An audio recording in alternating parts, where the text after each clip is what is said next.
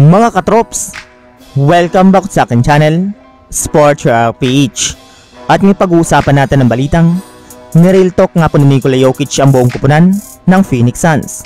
Pag-uusapan na rin nga natin dito sa ating panibagong video, ang naging Game 5 ng Los Angeles Lakers at Memphis Grizzlies.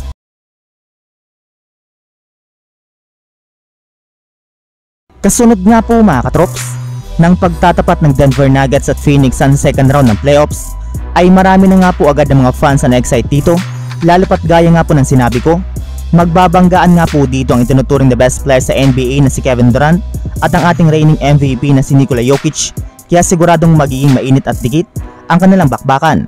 At bagamat man nga po hawak ng Denver Nuggets ang home court advantage ng kanilang serye, ay inamin par naman nga po ng kanilang superstar na si Nikola Jokic na hindi par naman nga po sila nakakasigurado kung mananalo ang kanilang team sa kanilang matchup, gayong kakalabanin lang naman nga po nila dito ang itinuturing na pinakapaboritong team na magkakampiyon ngayong season sa NBA. Meron na rin naman nga po itong magagaling na players sa kanilang lineup, katulad na lamang ni Chris Paul na itinuturing na best floor general ngayon sa NBA at sina Kevin Durant at Devin Booker na pareho rin naman nga pong superstar na kayang magtala ng napakalalaking puntos.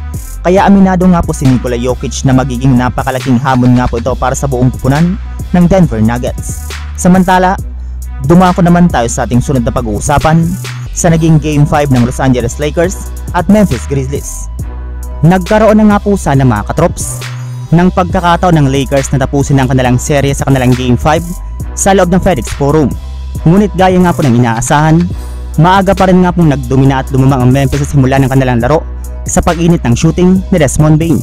Pero sinubukan rin naman nga po ng Lakers na maidikit ang kanilang laro sa pangunguna nga po ni Anthony Davis na nagdomina ulit sa ilalim ng basket at sa pag-init ng shooting ni D'Angelo Russell. Sadyang hindi lang naman nga po sila nakasabay sa third quarter nang magkaroon nga po dito na napakainit na scoring run ng Grizzlies sa pangunguna nga po ni Ja Morant na parating sumasalaksak sa ilalim ng basket. Sinabayan na naman nga po ito ng pag-struggle ng mga players ng Lakers sa kanilang 3-point shooting at rebounding kaya sa uli na-extend nga po ng Memphis Grizzlies ang kanilang series sa Game 6. At pagkatapos na naman nga po ng kanilang laro ay inamin nga po ng head coach ng Los Angeles Lakers na si Darvin Ham na napakadami nga po sila nagawang pagkakamali sa kanilang Game 3 especially sa kanilang rebounding gayong napapabayaan nga po nilang Grizzlies sa ilalim ng basket.